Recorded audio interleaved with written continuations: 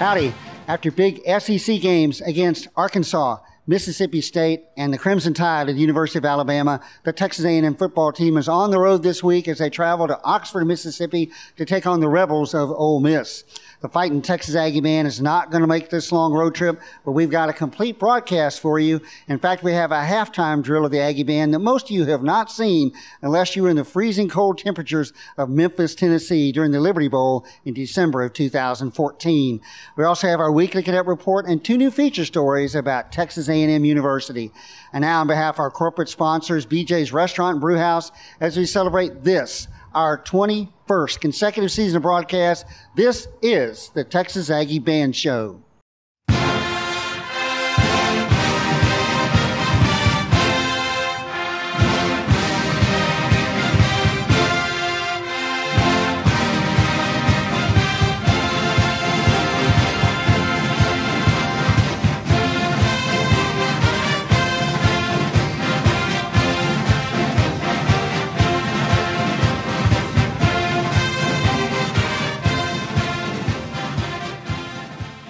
We begin each broadcast with our weekly cadet report, and this week we're joined by another cadet correspondent. He is Josh Simon, fighting Texas Aggie Band, class of 2016.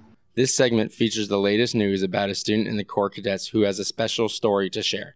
The Dwight Look College of Engineering at Texas A&M University has long been known for producing many noticeable graduates that have gone on to great success in their professional lives.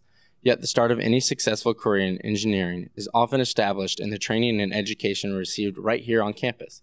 So too has it been for our guest this week, a cadet who recently competed with a team that won a major competition.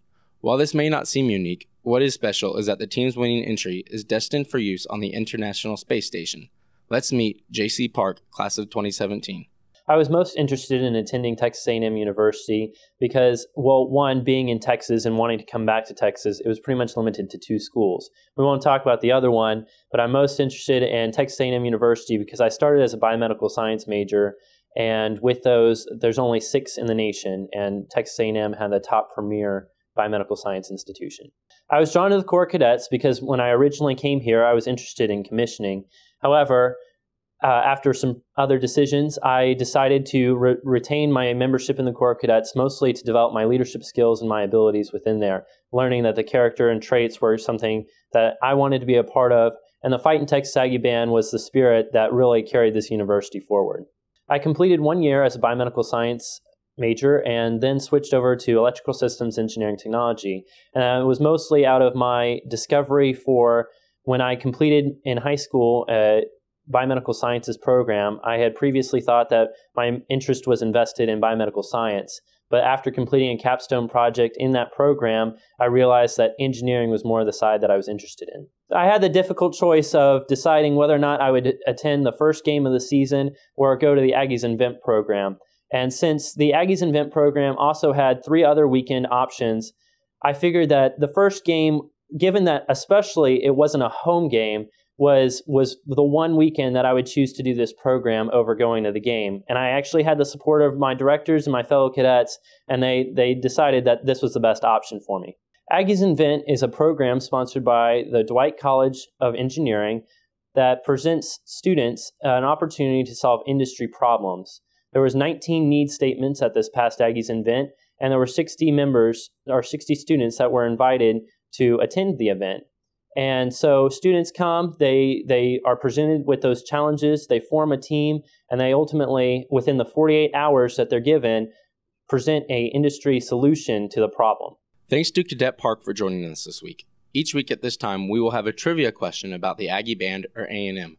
Below is the seventh question for the season, brought to you each week by our sponsors, the Texas Aggie Corps Cadets Association. Stay tuned for the answer at the end of the broadcast. Thanks to Josh for joining us this week, and Josh will join us again in the broadcast right after these messages from our sponsors, and we'll bring you our first feature story about the Rally to the Guidons held the weekend of the Alabama game. As has been the tradition for many decades, before every home football game at Kyle Field, the entire Corps Cadets parades in and marches around the field to the celebration of their family and friends before kickoff. As has been the tradition, though, for the last seven years, the Texas Aggie Corps Cadets Association has held a rally to the guidons, bringing former members of the Corps Cadets back to revive this tradition and help build esprit de corps with the current members of the Corps Cadets. The seventh annual Rally to the Guidons was held Friday and Saturday, October 16th and 17th, 2015, on the Texas A&M University campus. The festivities started Friday, October 16th, at the Sanders Corps Cadet Center with early check-in. Over 100 participants came and enjoyed the Corps Center's displays, as well as an address by the Corps Cadets Association Director Don Crawford, Class of 64, Commandant of the Corps General Joe Ramirez, Class of 79, and the Corps Commander Alyssa Michalke, Class of 16. The rally to the Guidons on Saturday was the largest rally to date, with 650 former cadets registering to attend. The objective of the Rally of the Guidons is to build esprit de corps, between former Corps of Cadets members and current cadets. The participants met at Duncan Dining Center Saturday morning and were able to visit and reestablish old friendships while they waited for the signal to form up into blocks on the quad. The 2015 rally proudly honored our Texas Aggie Korean and World War II veterans. Edward Cumby, class of 43, James Melson, class of 44, William Pritchett, class of 44, Harry Swafford, class of 44, Raymond Garlington, class of 46, Edward Mitchell, class of 46. Each of them were in the lead of the honor block. The 2015 rally also enjoyed having the first ever female block composed of over 50 former female cadets, a legacy block of over 100 former cadets marching with family members. Blocks composed solely of cadets from the class of 1971 and the class of 1974 and blocks composed of former cadets who were members of Squadron 5 and Squadron 8. The remaining blocks were composed of former cadets from the classes all the way up to the class of 2015 that just left the Corps last spring. The oldest former cadet was Ed Crumby, class of 43, and the youngest cadets were Sundown Hunter, Ian Kettlecamp, and Ryan Smith, all class of 2015. We asked Chris Sullivan, A&M class of 98, who's a member of the Corps Cadet Association staff, and the current president of the Texas Aggie Band Association to join us and give us an overview of the Rally to the Guidons. Yeah, the Rally to the Guidons, uh, as far as I'm aware, started about seven years ago. I believe it was 2008 and uh, was the first year. I really have only been involved with it for about the past three years when I became involved with the Corps Cadets Association. Uh, this year was the first year that we were able to have an, a band block um, and so we were really excited about that, and we just hope that that continues to grow in the future.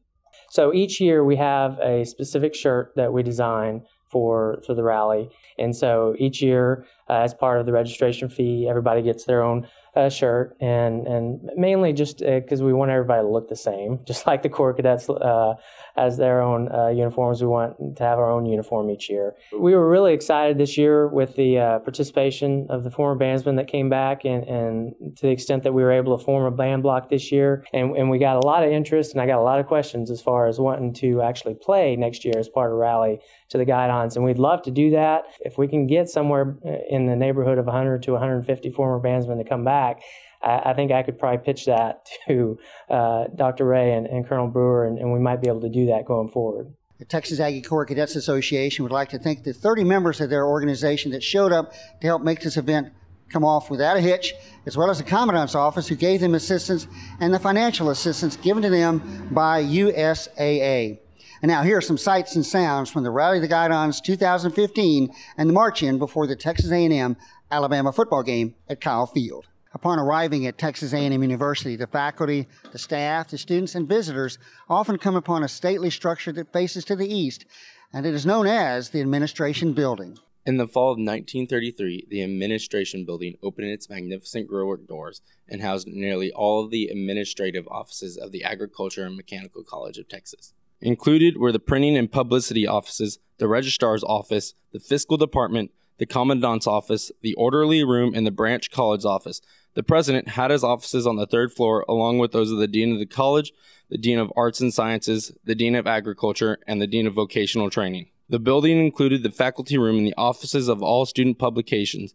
The largest user of space, taking the entire fourth floor, was the Texas Forest Service. In addition, office space was set aside for the Association of Former Students. The placement and arrangement of the administration building marked a major departure for Texas A&M because it meant that their front door was no longer facing to the west and the railroad tracks where most of the cadets arrived at, but towards the east and the newly completed Highway 6. And so Texas A&M turned its front door, its welcoming to the east side with the creation of the administration building. Designed by F. E. Giesecke, Texas A&M class of 1886, this building was built for the entire cost of $363,000.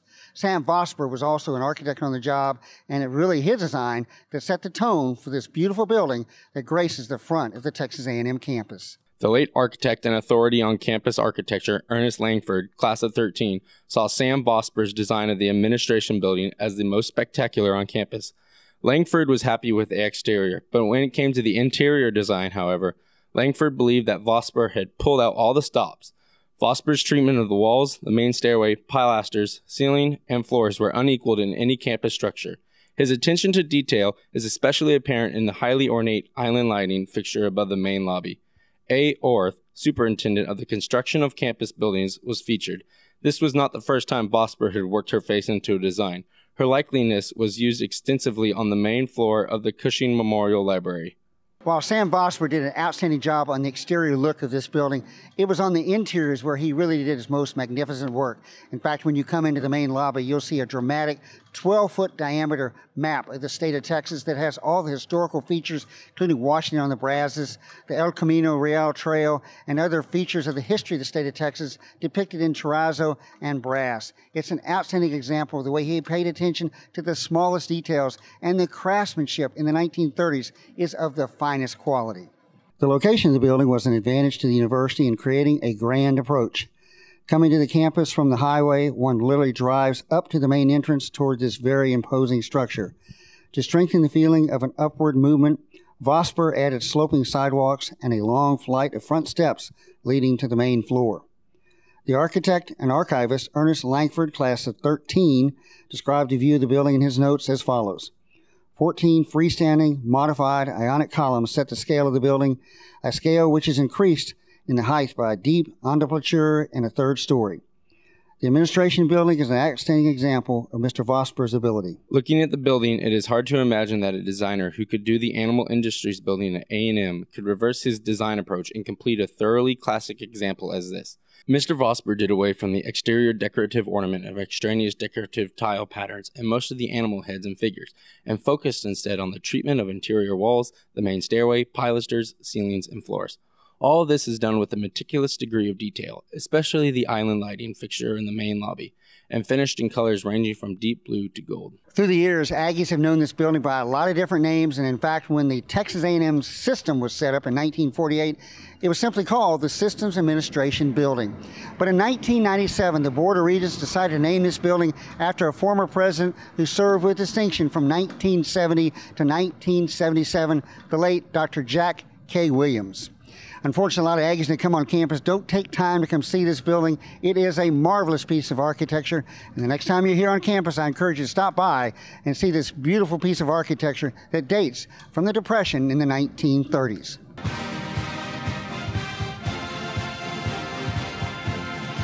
Howdy.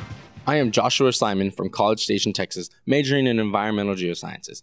On behalf of the senior class of 2016, here now is the halftime drill of the Fighting Texas Aggie Band at the Texas A&M University versus the West Virginia Liberty Bowl.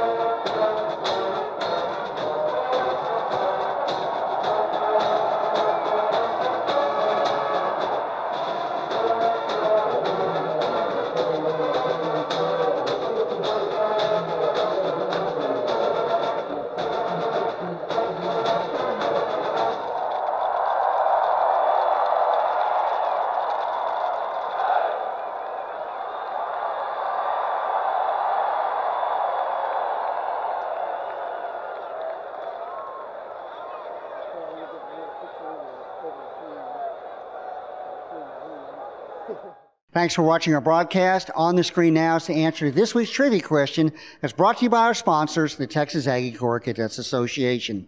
When we come to you next, Texas A&M returns home to Kyle Field. They'll be taking on a Eastern Division foe from the SEC, and it'll be their interdivision rival every year, the Gamecocks of the University of South Carolina, who come calling for the first time ever to College Station.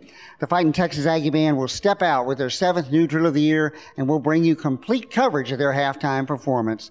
We'll have another new weekly cadet report and feature stories about Texas A&M. And now, on behalf of our corporate sponsors, BJ's Restaurant and Brewhouse, as we celebrate this our 21st consecutive season of broadcast, this has been the Texas Aggie Band Show.